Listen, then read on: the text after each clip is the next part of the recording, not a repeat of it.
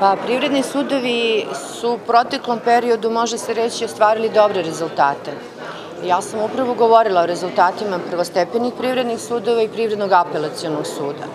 Ono što je bio naš cilj u prethodnom periodu jeste smanjenje broja starih predmeta, odnosno predmeta starijih u odnosu na inicijalni akt od dve godine, što podrazumeva posebnu kategoriju predmeta i onih koji su u odnosu na inicijalni akt stariji od 5 i 10 godina.